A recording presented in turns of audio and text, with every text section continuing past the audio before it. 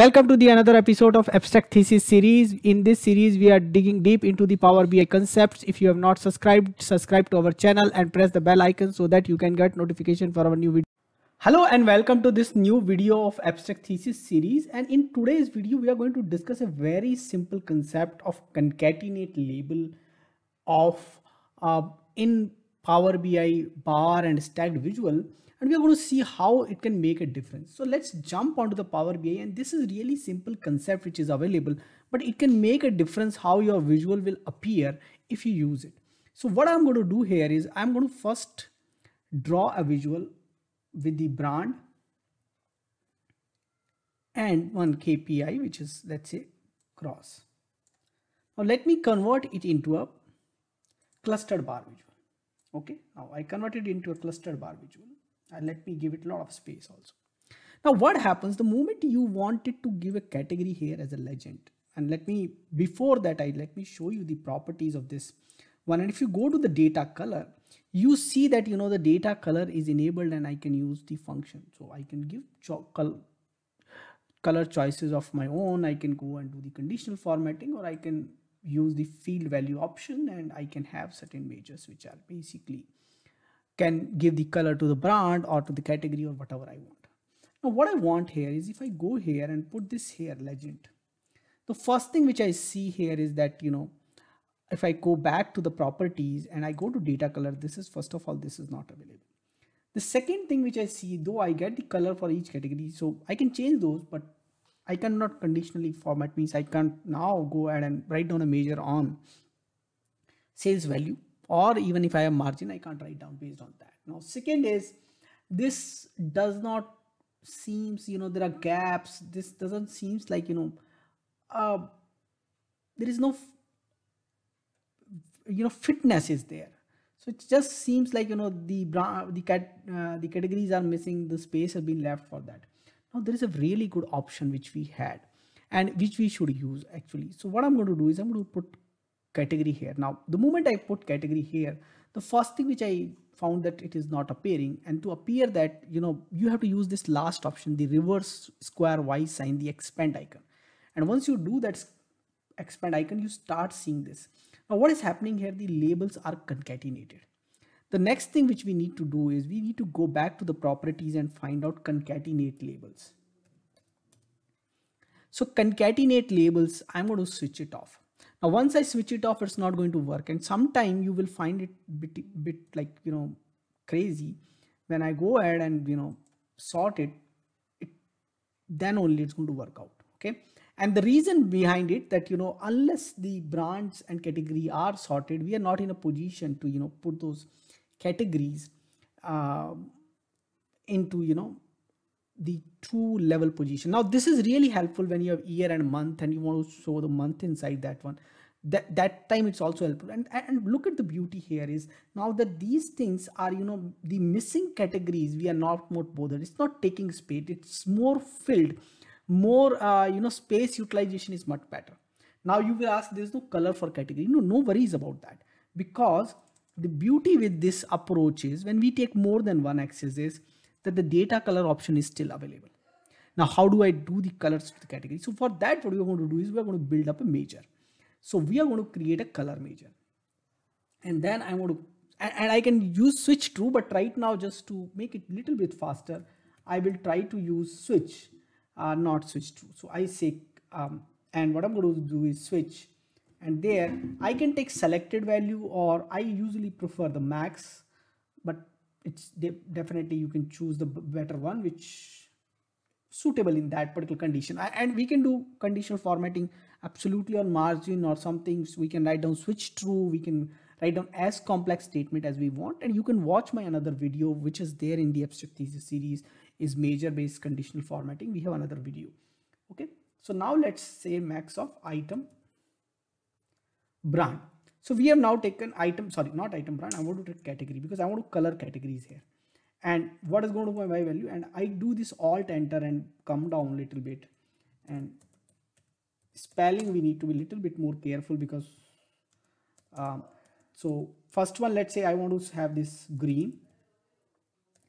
And then I'm a copy paste fan. So let me do copy paste oh i've done wrong thing by doing copy paste but no worries let me and we can leave one category. So i'll say two i'll say three i'll say four and one i'll give default. So let's say i say this is blue and this is yellow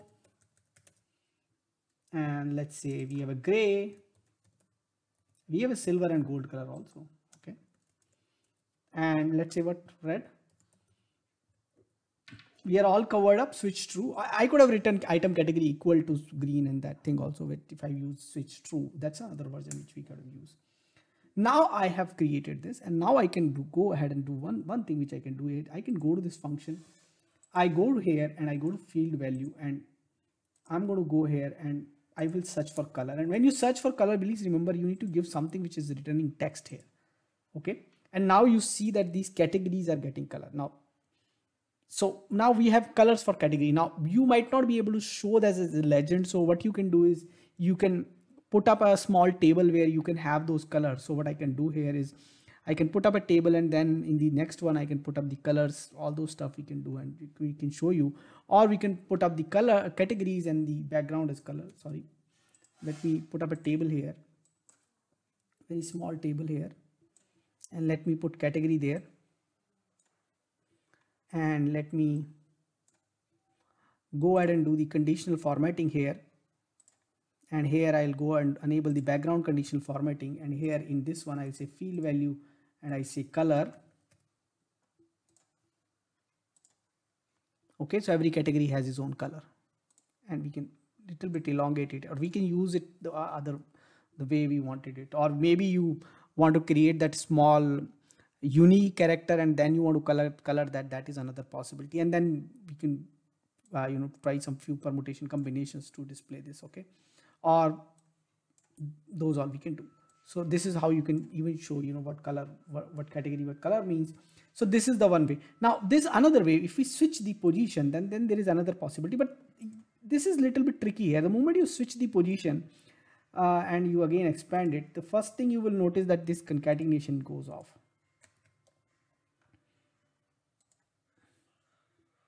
and then you have to again go ahead and sort on the axis. It's sorted but you have to again sort. This you have to do twice. Okay finally we got it. Yes. So this is sometime which is happen and you know that's why i say it's crazy sometime that you know it doesn't happen in one go. It shows some property but it's not applied actually.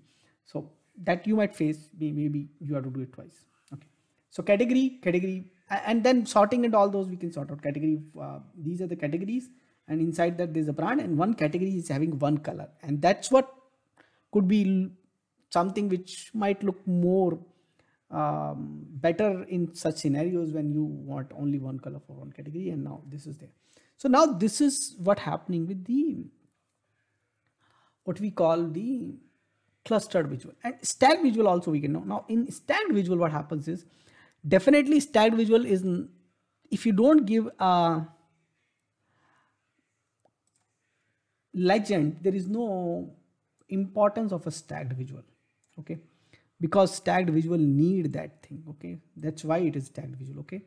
But let's start with the same thing. And instead of measure what i'm going to do here is i'm going to put uh, values which is net and on top of net we put discount. So this is something like gross is okay now here, let me expand it here.